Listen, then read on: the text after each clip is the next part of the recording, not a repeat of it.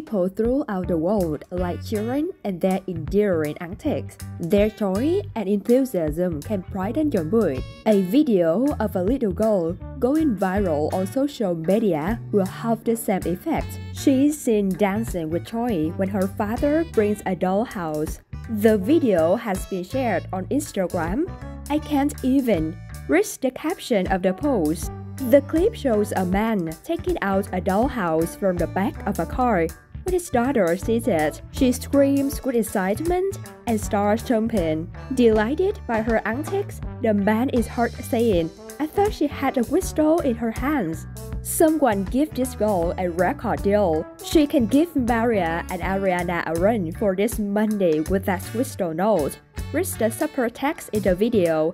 According to Instagram, the little girl's name is Ella.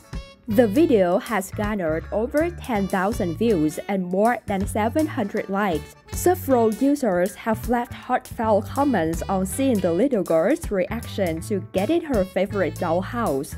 One user wrote, I can't stop watching this dad's face get me every time. She's so cute.